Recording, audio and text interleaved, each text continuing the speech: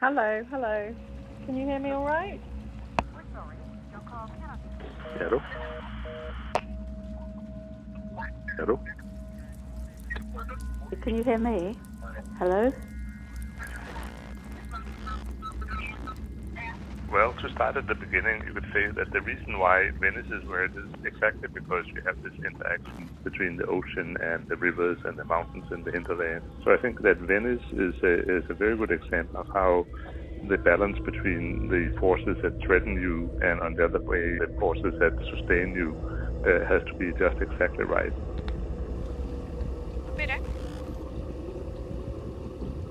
The human search for meaning and the hum- and the importance of meaning for our cultural evolution. Earth systems, planetary systems, human systems, whether it's cultural or energy or agricultural or, or whatever, how they drive planetary systems. They- They're all interconnected and they feed back on each other. we can't see many of the things that our life causes other places on the planet. So very many of us um, live in a little bubble right around ourselves, and we don't recognize that we're part, that we're interconnected, that we're connected to other things.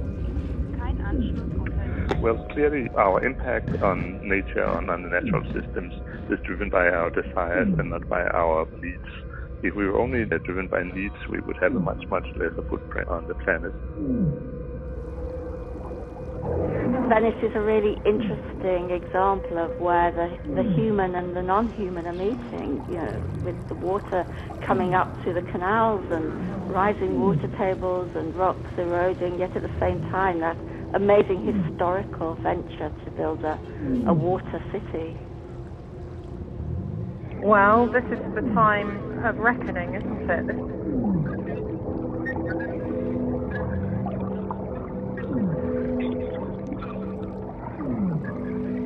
You take a laguna, you have just uh, basically some a little mud bank sitting in the middle of it, and some people decide let's make the most wonderful city in the earth out of this.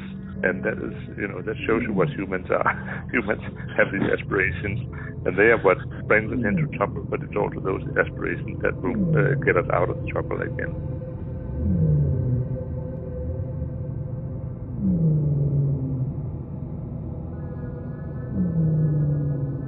Humans start by collaborating on things. We're, we're completely dependent on each other. We, none of us can survive alone. So we depend on our society, but more broadly than that, we depend on strangers, not just our family, not just our group, but strangers in other groups.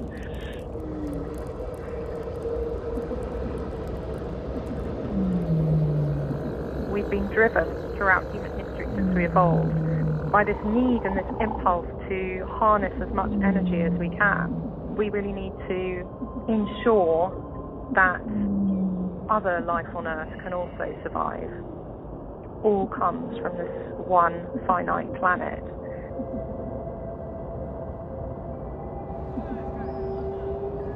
Uh, we're pushing these systems to such a level that they're not going to be able to support.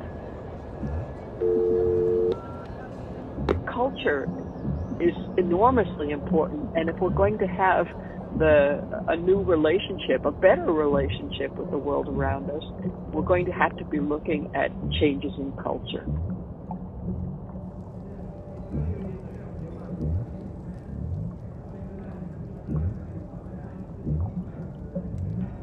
And the big question whether uh, we will kind of conquer over nature or whether nature will conquer over us. I think that um, nature will always win in the end. Nature will win. I guess maybe the big philosophical question is when does human activities end and where does nature begin? I think that uh, we are part of nature, and uh, the earlier we realize that nature that's us, that better uh, will our, our chances be to uh, extend our, our, our time as, uh, as civilizations on Earth.